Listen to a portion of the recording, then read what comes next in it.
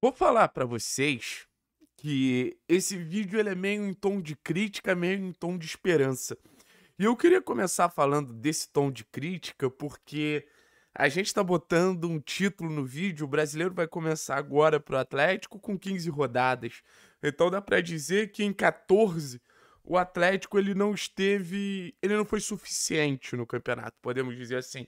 Ele não esteve realmente dedicado ao campeonato. A gente sabe que nas últimas a gente sabe que nas últimas temporadas o Atlético ele vem priorizando as Copas. Em 2023 não foi diferente. E, e se o Atlético tivesse passado do Flamengo, provavelmente a relação com o Campeonato Brasileiro ela seria muito conturbada. Mas eu acho que isso precisa mudar de certa forma, sabe?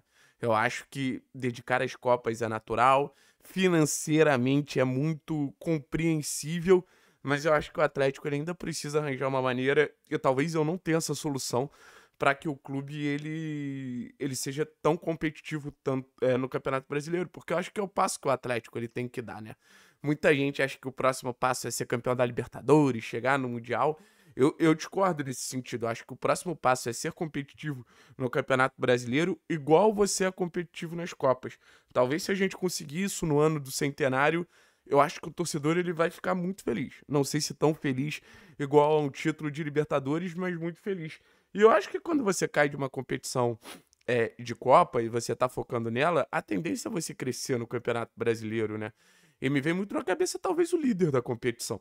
A gente vê um Botafogo cada vez abrindo uma cada vez abrindo uma vantagem maior, muito depois de ter sido eliminado pela gente na Copa do Brasil. Antes era um Botafogo ali equilibrado e tal, porque tem semana para trabalhar, porque você concentra mais naquele jogo, porque você não vai ter que jogar um jogo pô, no final de semana contra o Cuiabá já pensando em jogar contra o Grêmio na Copa do Brasil. Não que eu esteja comemorando estar sendo é, ter sido eliminado da Copa do Brasil. Zero comemora. Eu acho que é um ponto péssimo. Eu achava que o Atlético poderia ser campeão da Copa do Brasil. Mas pensando nessa perspectiva, né? O próprio, o próprio Fluminense, cara. Fluminense foi um time que vivia um momento de instabilidade, caiu da Copa do Brasil, já volta a vencer seus jogos. Então, assim, acho que é natural que o Atlético ele dê mais atenção ao Campeonato Brasileiro e consiga ser mais competitivo no Campeonato Brasileiro e corra atrás do tempo perdido, né? De certa forma, assim. Porque foi um tempo perdido onde o Atlético, primeiro, ele não conseguiu jogar bem, além da falta de resultados, que foi o período Turra. A gente teve bons resultados e bons jogos nesse primeiro momento. Flamengo, Inter, a virada contra o Coxa foi um grande resultado, não foi um bom jogo. Própria vitória contra o Botafogo, a gente precisa lembrar que o Atlético foi um dos poucos times que venceu o Botafogo. Mas eu acho que essas vitórias talvez elas falassem mais sobre os outros times, quanto o Botafogo não, mas principalmente contra o Flamengo e Inter, é, falava mais sobre o momento fraco dos outros times, a instabilidade dos outros times, do que o momento do Atlético, sabe? É, eu acho que o Atlético ele precisa ter um campeonato brasileiro mais dele, ele precisa ter uma noção de pertencimento maior com a competição para que ele possa ser mais dono dos jogos e naturalmente mais dono dos resultados, naturalmente que esses resultados eles venham mais frequentemente. O Atlético, cara, eu vou até abrir aqui, ele tem até a reta final do campeonato, do campeonato não, do turno, algumas boas possibilidades para ele pontuar e pontuar consideravelmente, tá? Nesse momento, o Atlético é 11 lugar com 20 pontos. O Atlético ele está a 3 pontos do G6 do campeonato e do G4 também. Que Fluminense e Bragantino tem 24 pontos, Bragantino já jogou, Fluminense ainda vai jogar, então muita gente na frente do Atlético ainda vai jogar. Por exemplo, São, São Paulo joga, Fortaleza joga, é, Palmeiras joga, Inter joga, Cruzeiro joga. Mas vamos lá, até o fim do turno. A gente está na 15 rodada. Atlético Bahia, na Arena da Baixada. Resultado super possível. Aí o próximo jogo é Atlético e Vasco da Gama é, em um estádio que não deve ser São Januário sem torcida. A gente sabe que o Vasco é um dos piores times do campeonato até agora, mas um resultado muito possível. O jogo vai ser no dia 23, então o Atlético vai ter a semana inteira para se preparar para esse jogo contra o Vasco, que a gente sabe como o trabalho do Wesley ele vem sendo positivo nessa questão de, é, de se preparar, né? Vem sendo positivo nessa questão de, de estabilizar no projeto ali como um todo, sabe? Aí você É, depois do jogo contra o Vasco, você vai ver o Atlético jogando contra o Cruzeiro em casa. O Cruzeiro é um dos principais visitantes, mas na Liga Arena, na Arena da Baixada, sempre existe aquela esperança para que o Atlético vença os jogos. Então, assim, terceiro resultado possível.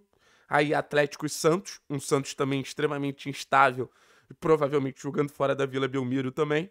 E para terminar, Atlético Cuiabá na Liga Arena de novo. Então, assim, se, se forem cinco vitórias, não vai ser algo surreal, tá? Se forem cinco vitórias, não vai ser algo surreal. Mas para isso tem que estar tá concentrado, para isso tem que estar tá dedicado, para isso tem que estar tá olhando para o Campeonato Brasileiro dessa visão. A gente pode chegar no G4, a gente pode chegar e, e brigar por coisas maiores na competição, mas a gente precisa estar é, imerso no Campeonato Brasileiro. A gente precisa dar esse ponto de start no Campeonato Brasileiro, que eu acho que vai ser fundamental como um todo. Eu vou sugerir a famosa odd do vídeo, né? Que é, eu acho que o Atlético ele faz mais de um gol e meio no Bahia. Vai lá na KTO, deixa o like. Vou até beber um gole na minha garrafa KTO aqui. Deixa o like, se inscreve no canal, mas vai lá na KTO, aposta no Furacão, porque eu acho que vai dar bom, mano. Acho que o Atlético ele tá com sede de crescer nesse Campeonato Brasileiro, sabe? Eu acho que a eliminação na Copa do Brasil, ela, ela deixou os caras um pouco desconfortáveis ao ponto de, pô, beleza, a gente caiu, mas agora a gente quer também é, correr atrás do, do, do tempo perdido e, e, fazer um bom campeonato brasileiro e até salvar o trabalho do Wesley, né? A gente sabe que o trabalho do Wesley ele, ele depende muito também desses resultados. Então, acho que o Atlético ganha o jogo e acho que o Atlético faz mais de um gol e meio. A odd tá muito boa, 1,80. Perde a oportunidade, não. É... Mas é isso, cara. É, é, é o desafio de ser mais constante, é o desafio de encarar a competição mais difícil que a gente tem hoje, tá? Eu acho que entre Libertadores e Campeonato Brasileiro, o que, que é mais difícil? Eu acho que é o Campeonato Brasileiro, em relação ao que te exige, em relação ao que você enfrenta semanalmente, em relação à quantidade de jogos, em relação às viagens. Então, assim, tem que ser. Tem que ser muito forte, por exemplo, para para se estabelecer uma competição inteira no G4, para se estabelecer numa competição inteira no G6.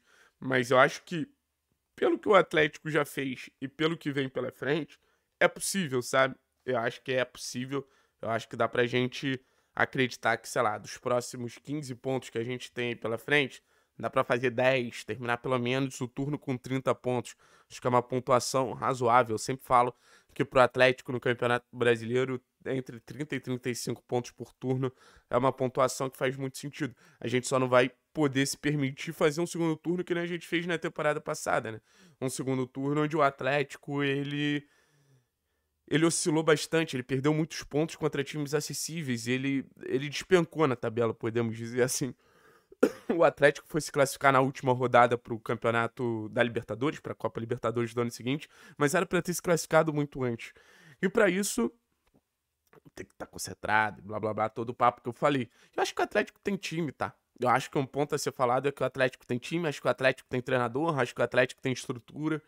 O Atlético tem tudo para fazer um grande campeonato. Não seria uma surpresa, uma reação do Atlético ao campeonato. Mas acho que tem muito uma questão de fase, sabe? Uma questão de, pô, quem a gente pegou no começo do campeonato, quem a gente tá pegando agora. E, e uma questão de, porra, é, fazer virar chavinha, fazer as boas atuações gerarem resultado, fazer o Atlético ser mais estável, fazer o Atlético ganhar os jogos. Pô, contra o Fortaleza a gente não merecia perder.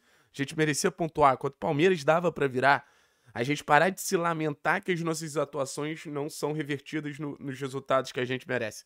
Eu acho que se a gente conseguir isso, vai ser um mérito gigante. Beleza, rapaziada? Daqui a pouco começa a live e dá para dizer. Acho que o Campeonato Brasileiro ele começou de vez para trás. De vez.